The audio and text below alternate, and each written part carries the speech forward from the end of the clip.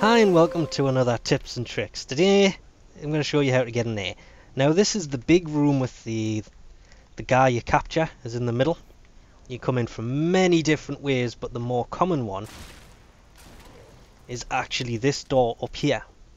And you'll notice it because there's usually a fan just there that isn't turning.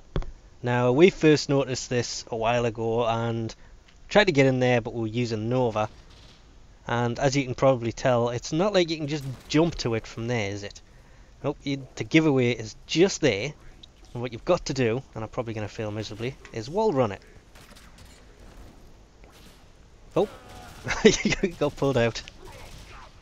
Once you're in here you just drop down the hole and this this is the room on the Grineer capture where you, you capture the guy.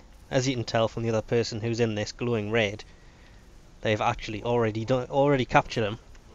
It was just he was standing under the pipe and asked, so I thought I'll do this because it was just a pipe with the thing spinning, and you can see there's a way up there, but you can't physically jump into it. So it is basically like a third way into this room because you've got this little jump here and then you've got the long way around. I'm not even going to bother killing him.